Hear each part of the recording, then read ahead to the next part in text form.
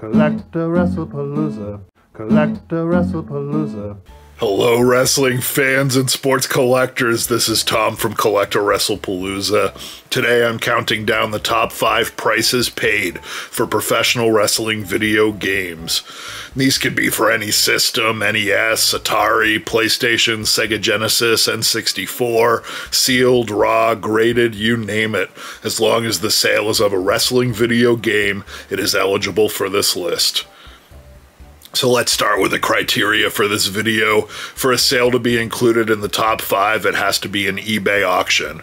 I only look at sales from auctions as I feel that represents the true market for collectibles, and eBay is the biggest auction house.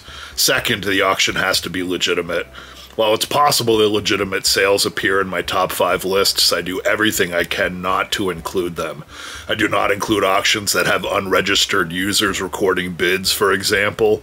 Third, this top five only includes professional wrestling video games. And finally, I am only including sales from February or March from 2024.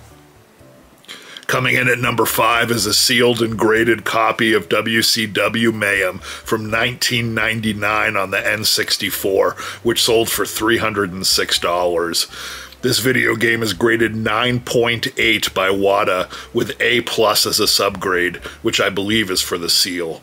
Why is this valuable? In this instance, I think it is about condition. Loose copies of the game only sell for a few dollars each, but this one is graded an almost perfect 9.8 A plus. It is also an attractive box cover. If you're a Goldberg fan, this would be a collectible you might want. Goldberg is snarling on the cover and it looks fantastic. Or if you're a video game fan or a WCW fan or a pro wrestling fan, this would also be an object you would want to own. The WATA label also says made in Japan. I'm not sure if that makes this game more or less special. Viewers, if you know, please leave a comment and inform us.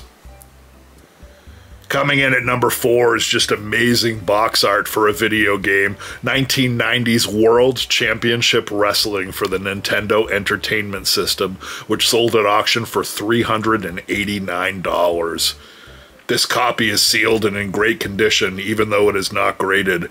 What makes this title special outside of its rarity in this condition is the fact that it depicts the Road Warriors and other real pro wrestling stars. This was back when World Championship Wrestling was part of the NWA or the National Wrestling Alliance, and video games rarely featured licensed stars. This is the only video game to ever be associated with the NWA. It includes playable characters of Ric Flair, Sting, Lex Luger, Ricky the Dragon Steamboat, and both Road Warrior Hawk and Road Warrior Animal.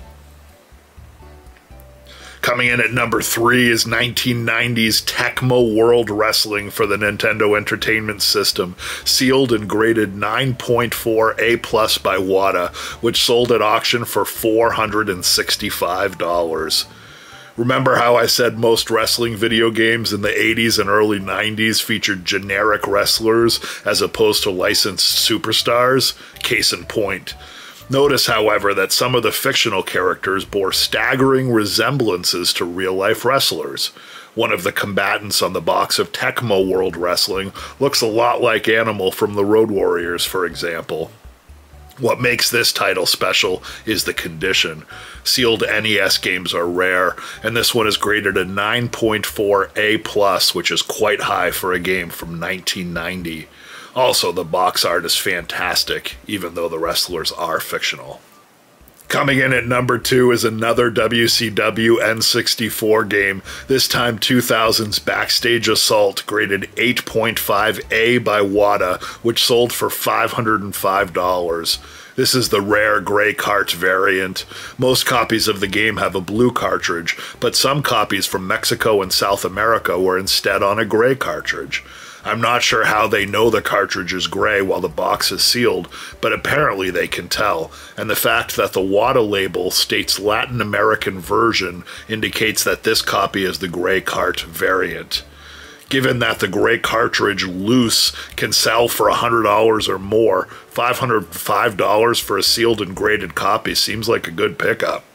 Perhaps there is not as much of a premium since you cannot see the cartridge itself. And coming in at number one is 1986's Tag Team Wrestling for the NES, a mint complete copy sold for $660. This game is special because it is a five screw cartridge.